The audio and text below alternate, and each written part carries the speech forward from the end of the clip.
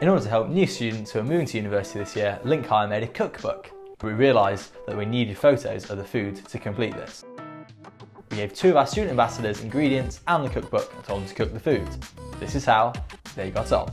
As the team were going to eat the food, we made sure they washed their hands first. To start off, they made the ham, cheese and tomato pasta bake, a relatively simple dish that requires pasta, chopped tomatoes, water, ham and cheese.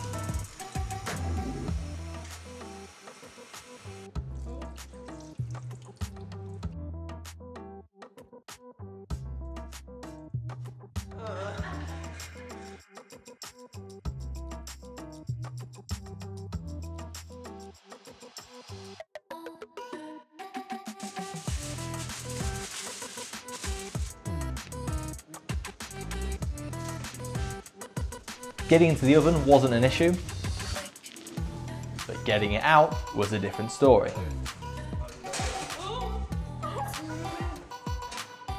They got out eventually, applied grated cheese and put it back in for 10 minutes and after a second attempt we were able to get the completed pasta bake out of the oven.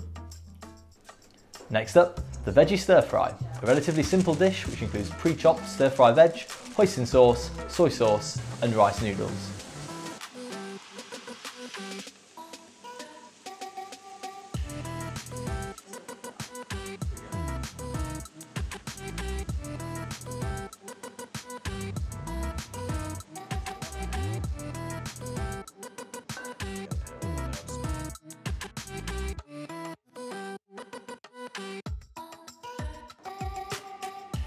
The third recipe, toad in the hole, a traditional British dish consisting of sausages in a Yorkshire pudding batter.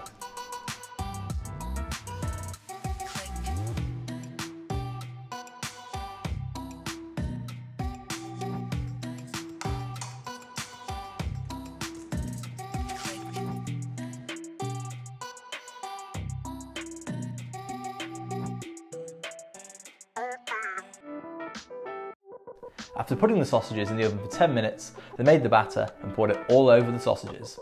No hiccups with the oven this time.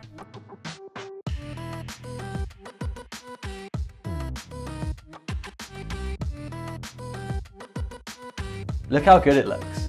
We added the gravy just so it wasn't any toad in the hole. This was the LiNCHigher toad in the hole. Next, a typical student meal, chicken curry, another stress-free and easy to make recipe.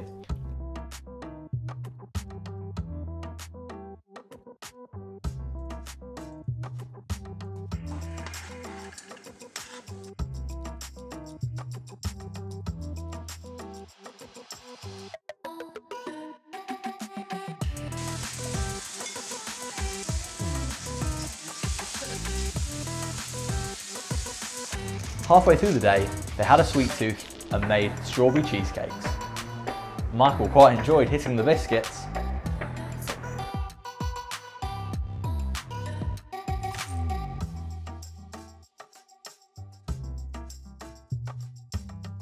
We forgot to record the completed cheesecake, but we can reassure you it was very good.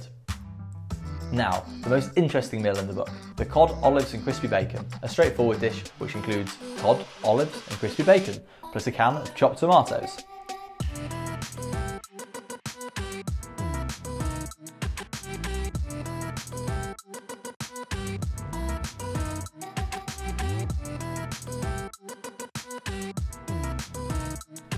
The penultimate dish, chicken fajitas, a timeless classic, a meal our ambassador Michael admitted to never have tried.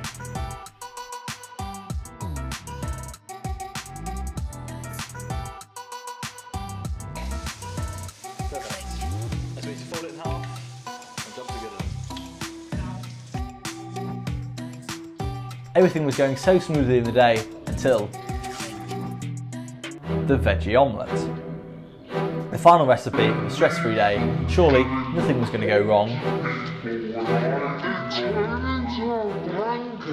I left the room for two minutes and this happened. We didn't have any more eggs, so in the bin it went.